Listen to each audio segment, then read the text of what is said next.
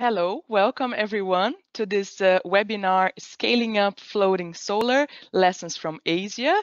Well, uh, welcome. And my name is Manuela Hartung. I'm project manager here at Solarplaza.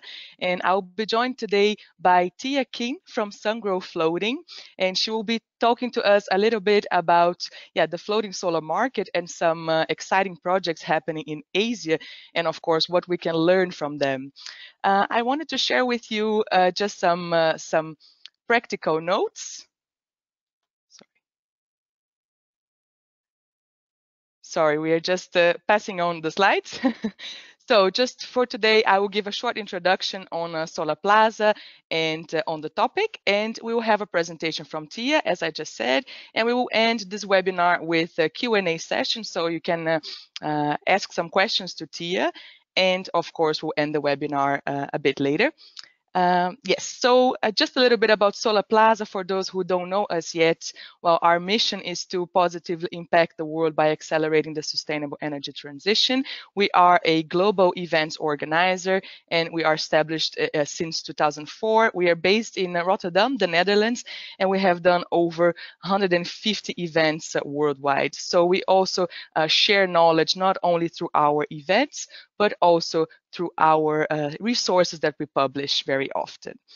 Um, so also uh, during the, the past times, during the, the COVID crisis, we also expanded our business a little bit. So we also launched uh, three different business uh, branches. And one of them is the Solarplaza Consultancy, where we offer um, yeah, solutions for new market entrants. Uh, and also we share, uh, yeah, we also have the Solarplaza Academy, which is more dedicated to, to training in the solar space. And we also have the Solarplaza Foundation, which we launched in order to accelerate the sustainable energy transition for everyone. So uh, also beyond our business to business activities. So this is a little bit about us. And I wanted to share with you also some practical notes. Uh, just in case you have questions, uh, technical questions, you can use the chat box that you see on your screen. And that, that chat box is also for questions that you have for Tia. So I encourage you to, during the presentation, already send your questions and then Tia will address them at the end. So please feel free to already uh, yeah, send these questions uh, throughout the presentation. And of course, as always, our presentation slides and the full recordings will be available for you after afterwards, you should receive an email with instructions uh, in about two days. Uh, so yeah, that's a little bit about the, the practical notes. And now I would like to, yeah, to welcome Tia to join us. So Tia, if you're there, you can already, um, yeah, you can already show up on the screen. So just a little bit about Tia. She is the overseas business development manager at uh, Sungrow Floating. She is working already for over seven years uh, at uh, Sungrow, and since the beginning of 2020, she is already uh, dedicated to floating solar, so to expanding the portfolio of floating PV projects at Sungrow Floating, and of course has a very vast experience in accounting, strategic marketing, and in business development. So Tia, thank you so much for joining us today. Welcome. Uh, thank you, Manuela. Thank you for your introduction. Thank, Thank you, you, Tia. So without further ado, please uh, take it away and uh, the, the floor is yours. Okay, thank you, Manuela. Okay, so uh, hello everyone. Uh, today I will going to just give the short presentation regarding our experience in uh, floating solar in Asia. So actually, um, it's a pity that cannot be in personal at Floating Solar Conference Amsterdam due to the restriction of the COVID-19. Thanks for Solarplaza's organization for the webinar. Um, as for uh, floating solar, it has been a hot topic during current years. It is a niche market but carries a huge potential. Today, I would like to share some of our experience from the projects we've achieved in Asia, from what we did to what we learned. So here, the agenda will be divided, uh, divided into three parts.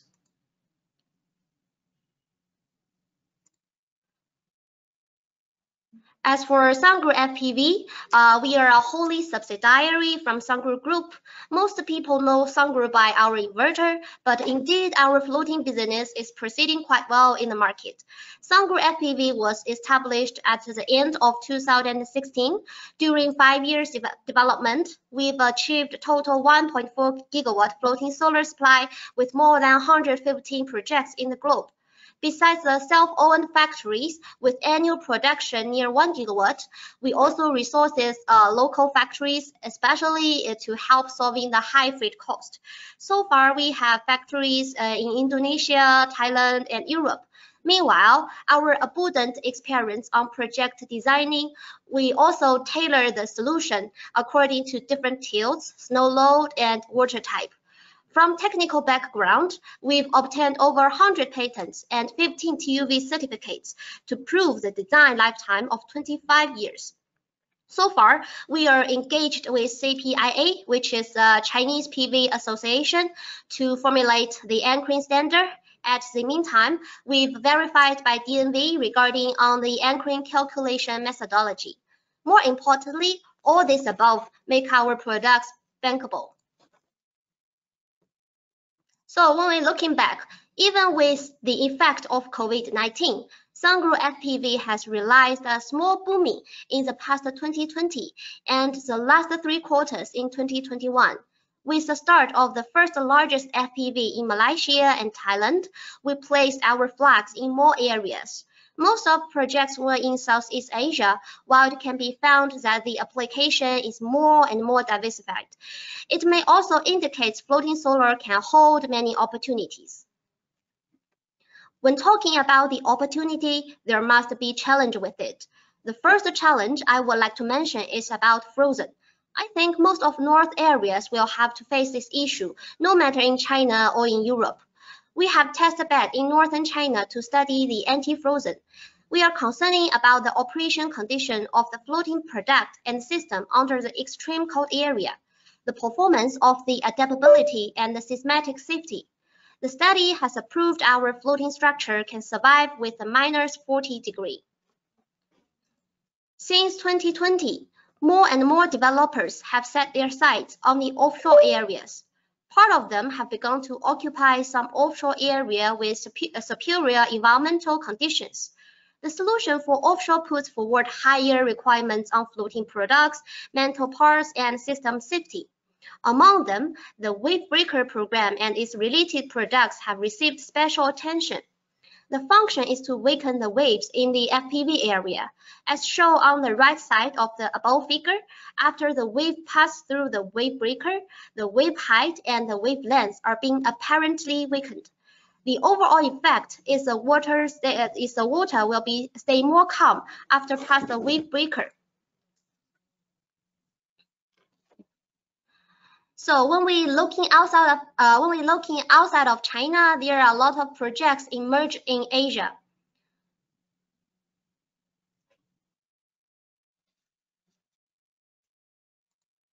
The first project I would like to mention is about Singapore Tengeh Reservoir 16 megawatt FPV project. Um, the project has compared to uh, Crown Jewel in the owner's portfolio. Before the project, the world's largest floating solar PV test bed with 10 floating PV system called a first of its kind was launched in 2016. A study shows the floating solar will bring 5% to 15% higher power generation than the rooftop. Also with other positive study results, then the 16 megawatt project on Tengeh Reservoir can be raised. As the reservoir is a drinking water, the process of the environmental study is very strict. From the slide, we proved the environmental friendly from these three aspects, which are floating material, floating product, and floating system. The GB standard is a safety testing standard for drinking water distribution equipment, which to prove that the floating material is food grade. The RoHS test mainly proves that the floating material, uh, material itself does not contain toxic or the hazardous substance. The BS6920 mainly proves that the floating materials has no impact on the water when immersed in the water and there is no implosion. At the same time, we also did a systematic environmental inspection, on-site water quality sampling, and inspection of the FPV station after four years of operation. The EU surface water standards providing that the floating system has no effect on the water body. The environmental protection of the floating material is the starting point of our material, uh, material research and development, and it is a rigid index, which is an unchanging principle. At the same time, we also put most of our energy on the research of the weather resistance of floating materials. FPV stations have to operate safely on the water for 25 years or even longer, which requires our floating products to have the characteristics of long-term life, anti-fragile, and anti-aging. Each batch of incoming materials and the floating products will be randomly inspected. If there are quality problems with the floating products sent to the site, they are all traceable. When we looking into the uh, social response of the Tengeh Reservoir project, uh, the 16 megawatt FPV serves to power all five local water treatment plants on mainland. These water treatment plants produce potable water for Singapore. With the powering of the water treatment plants, Singapore is one of the few countries with a 100% green water uh, work system. The 60 megawatt FPV will reduce carbon emission by about 32 kilotons annually, or the equivalent of 7,000 fewer cars on the roads. The Prime Minister, uh, Minister Lee Hsien Loong cares about the project as well. He visited the site and posted LinkedIn to say that is a significant step towards a greener and more sustainable future for Singapore. The second project I would like to refer uh, is in Thailand. The Electric Generating Authority of Thailand, which is known as EGAT, has announced its plan to build 2.7 gigawatt FPV till 2000, 2037. Sirindhorn Dam, 58.5 uh, megawatt FPV project, it is the start. The goal is to maximize the use of existing resources, which is a combination between FPV and the hydroelectric power. The water depth is 27 meters and the water level variation is 7 meters. To deal with it, we designed the 8 megawatt single floating array with the gravity anchoring method, while to leave the enough anchoring radius which to control the drift between two floating arrays. Also due to the water level variation with the wind speed of 42 meters per second, the system must perform well regarding wind resistance, even to consider about typhoon level. Around March 2021, a storm arrived at the project, which has already installed two islands. It is not affected here at all. During the construction of this project in Thailand, we provided a complete solution for the floating system of the photovoltaic area, including early design consulting service, later floating system design, anchoring, uh, anchoring system design, and other design service. In the process of project construction, uh, we have applied our experience advantage to help customers solving various problems. For instance, laying on the site, guiding assembling process, um, specify operation, arranging labor and workload, designing anchoring block, building construction platform, and etc., which all support to speed up the construction efficiency. The project has used the available resources into the maximum benefit. Due to the surface area, uh, area of Sirindhorn Dam and the high voltage power station, the efficiency has not been fully used. But when combined floating with hydro and with the energy management system called EMS, which is uh, developed by EGAT, the cost of electricity produced in each unit will be lower. Meanwhile, it can reduce greenhouse gas emissions approximately 0.5 tons per megawatt. From the Sirindhorn project, we can find that the utilization of the single energy type may be constrained by many parties.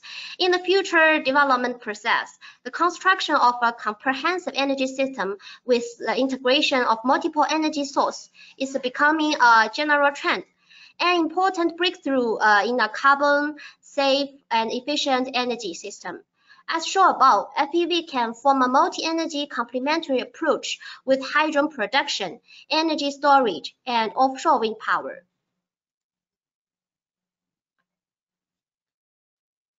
The third project I would like to address uh, was located in Malaysia. Malaysia Selangor 13 megawatt FPV project has come up under LSS Round 2, the country's competitive large-scale solar LSS program, through which the Energy Commission. The project levelized the cost of energy, while total investment in the facility was around 11.3 million. This 30 megawatt project is a special application due to its exit water. The FPV field is a mining lake where sand is mined with a, uh, with a pH index around 3. This, this makes the, the utilization of the overall material of the floating system different from the conventional freshwater solution. For example, the mooring rope used in the project is a polymer rope, while the conventional freshwater ro uh, rope is stainless steel wire rope. Therefore, it is necessary to design the solutions in a target manner after confirming the input parameters.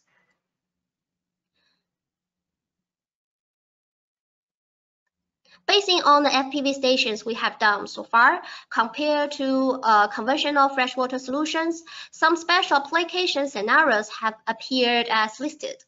At extremely cold area, we need to deal with issues such as freezing, ice flow collision, etc. In industrial waters, we need to encounter with circulating water, cooling water, treated water, and etc. As well as some mine lakes formed by various mines, specific water samples need to be tested to determine the application of system materials. At offshore areas, we need to conquer marine salty corrosion, high waves, high wind speed, etc. It requires special treatment methods. The above application scenarios in special water put forward more and uh, put forward more and higher requirements for the design, construction, operation, and maintenance of FPV stations. For Sungrow FPV, we have a professional structure research and development team, a material study team, a test analysis team, an anchor design team, and a system solution team to solve the problems in accordance with each application scenarios. For application scenarios such as freezing, special water bodies, and offshore, we have corresponding solutions and project cases which can be taken as a reference. However, there are many problems still restricting us. For example, more economic wave breaker equipment is the urgency of the development. At present, the cost of the cost of the projects with uh, equipped uh, wave breaker to pass the eco uh, economic evaluation. Under the precondition of ensuring the effect of the wave breaker, we are studying and developing a more economic wave breaker solution.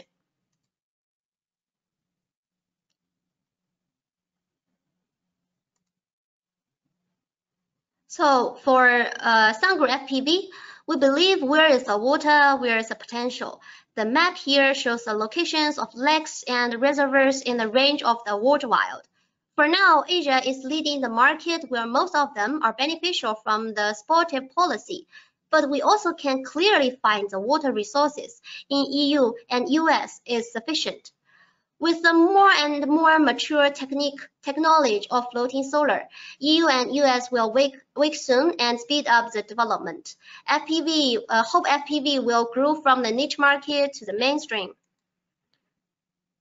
When we deep down into regions, we think Southeast Asia will still lead the running for a while, not only due to its abundant water resources, but also related to the plan for the floating solar.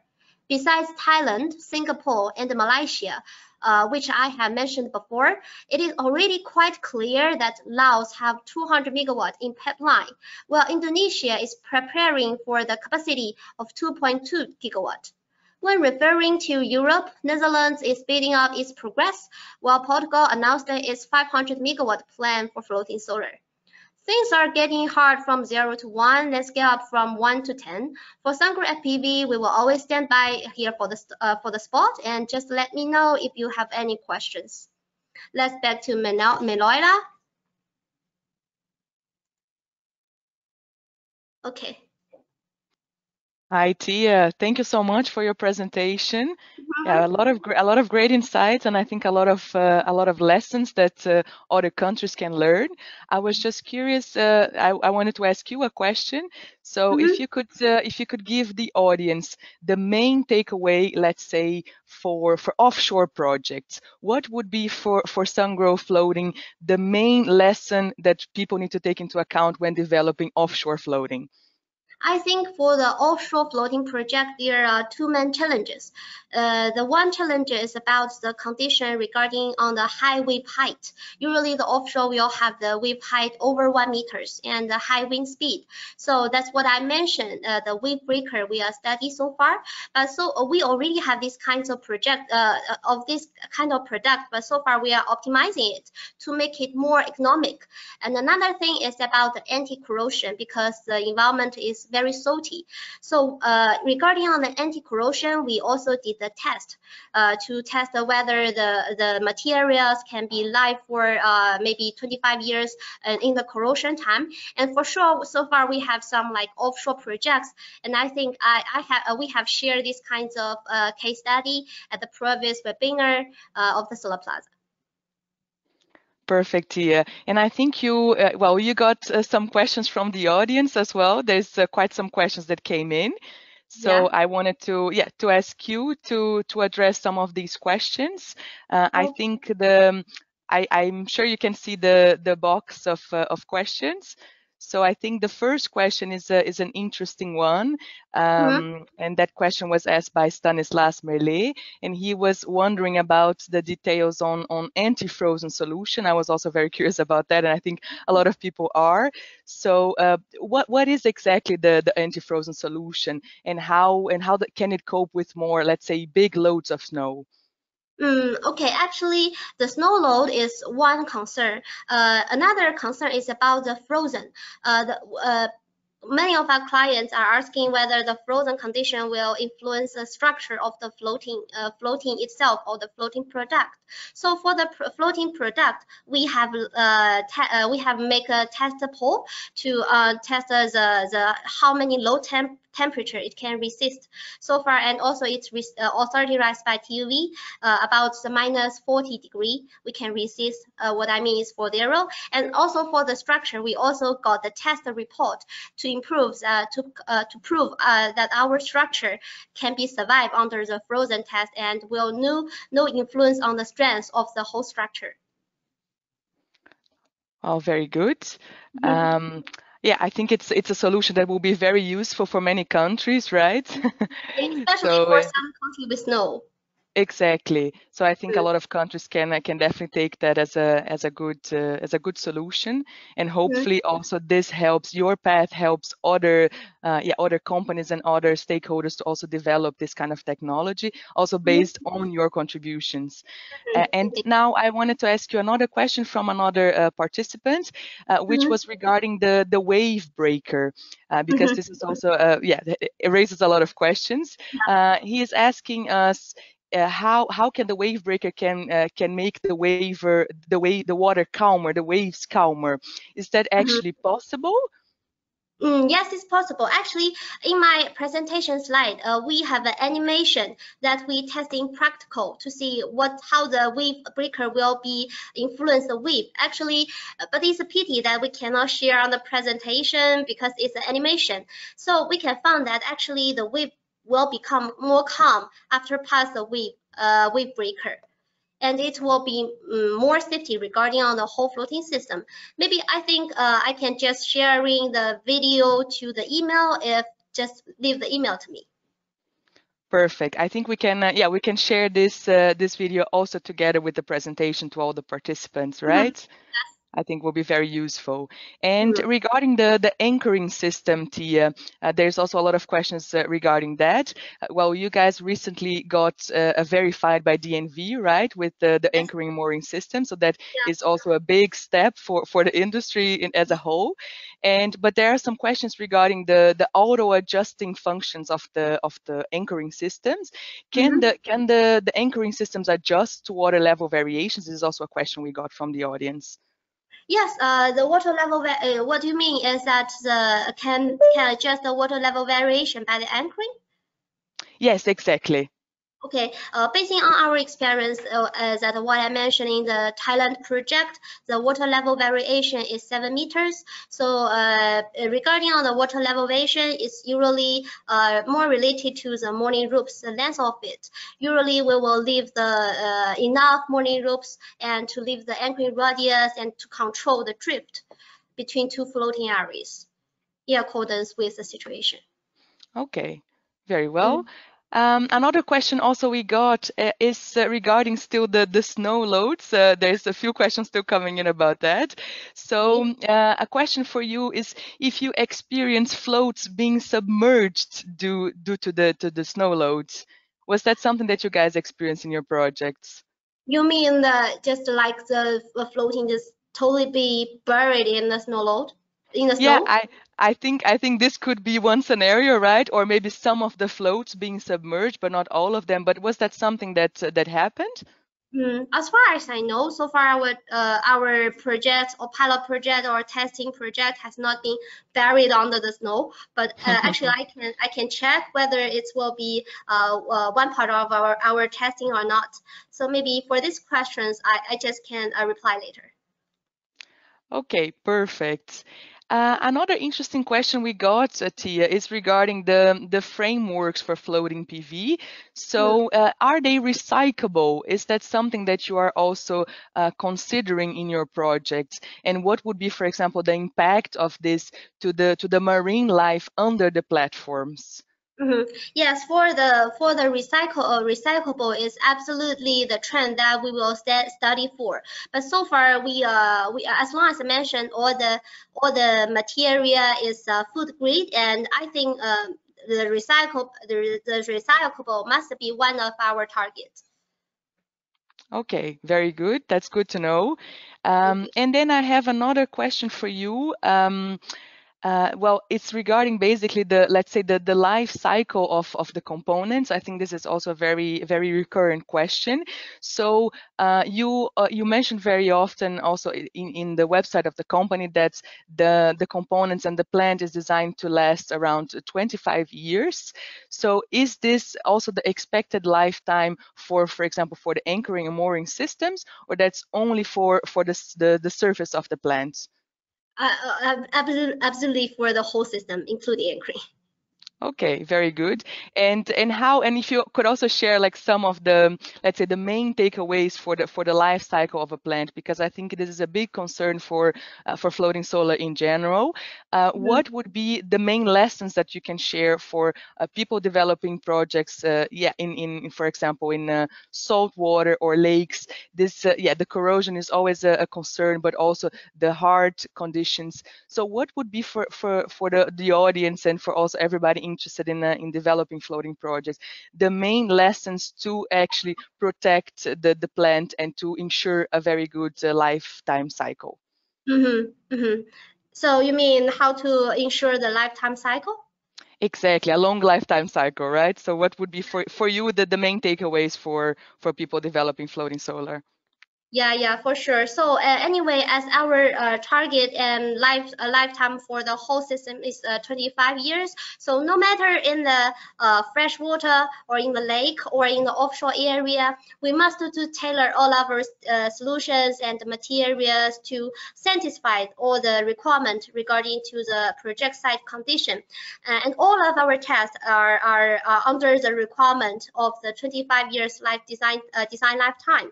So I think at least the, the, the test is passed. I think it's a very good approval to demonstrate that the, the system can survive under different kind of solutions. Okay, perfect. Um, now, uh, Tia, there is also a lot of questions. Uh, I think this could be uh, maybe uh, our, our last question to close it up. We have uh, plenty of questions from the audience, but well, a lot of the technical questions we also uh, we will gather them, and Tia and her colleagues from the more technical part of Sungrow Floating they can answer these questions afterwards. So just for everybody to know, the questions will be answered. We'll make a list and make sure that they are all answered. But just to to close it up on a on a more, um, let's say, global note, a lot of people are interested to know as well, what is the potential for uh, outside of Asia, of course, also for Europe. You shared a little bit at the end that there is mm-hmm. already uh, big plans for uh, certain countries in Europe. So how do you how do you plan on also expanding that, and also what would be uh, what would be your outlook for for Europe, for example? Is uh, is are some of these tests you have been doing and some of the applications you have been doing are they really replicable to Europe as well, or do you think we have to start from scratch when you when you start doing projects over here? Mm, I think maybe uh, one thing, uh, things are quite differentiated from Asia and Europe. One thing is that the policy may be quite different and the project size is quite different. For example, the Asia usually have a very quickly speed to scaling up the big capacity of the floating solar. But for European, I think many our clients have more concerns regarding on the possibility of the floating solar. So maybe I, I think maybe if, if there's any concern, maybe we can start from a piloting project to um, on the the lake or on the maybe water area that the client choose to let more people know uh, what is it and how it operates uh, to have a more clear vision of the floating solar. And for Sungrow, we don't have the minimized capacity regarding on the floating solar. So actually, as long as there is a demand, we will like fully share our experience and give the fully support on the FPV project in Europe. Actually, Europe, um, I think uh, it's huge potential market. Wow, very good to know. Mm. Uh, also, uh, just another question that we also got from the audience that you mentioned about Europe. That well, there are current already currently already some manufacturing facilities in Europe that you can also use in applications for floating PV. Um, do, could you could you share some more details on uh, which countries and and which uh, capacities are there? So also potentials maybe because you mentioned a few countries, but also are there more expected for other countries in Europe? Uh, I think maybe for the location of the uh, factory in Europe is quite sensitive. Uh, I think uh, it just uh, I will uh, reply privately, but not here. thanks for understanding. Of course, Tia. Well, perfect. I think we, yeah, we covered uh, quite a lot of the, the questions that we had from the audience, but we still have quite a, quite a few, uh, but quite technical questions as well. So as I mm -hmm. mentioned, uh, yeah, we will gather those questions and uh, Tia and her colleagues more dedicated to the technical part of uh, floating PV will uh, address them on, on the email together with all the, the presentation as well and the video that you also share, right, Tia? Yes, of course.